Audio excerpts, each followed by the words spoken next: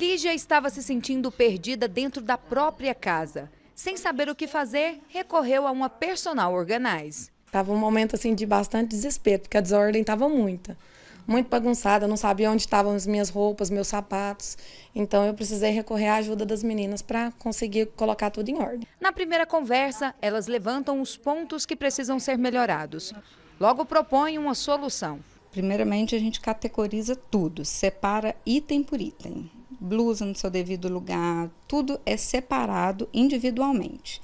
E a primeira coisa que nós fizemos aqui na Lígia foi é, dividir os espaços, modificar os espaços. Onde era o espaço do marido dela passou a ser dela e dela do marido dela.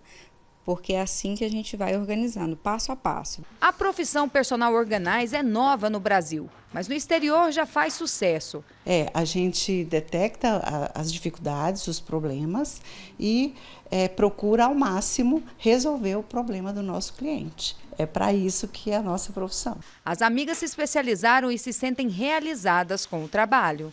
É gratificante. Muito gratificante. A economia no Brasil ainda não se recuperou do ápice da crise em 2016. Prova disso são os 13 milhões de desempregados que existem em todo o Brasil, isso segundo o levantamento feito pelo IBGE o ano passado.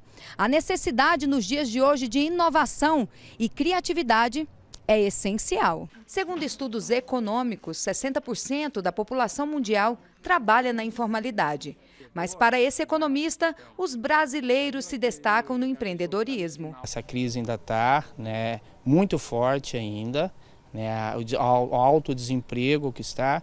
Então o brasileiro ele procura né, coisas para fazer. Peraí, eu estou desempregado, eu vou ficar Deus dará? Não, eu preciso de buscar alguma coisa que é para me fazer. Eu vou buscar um, empreender com algum negócio.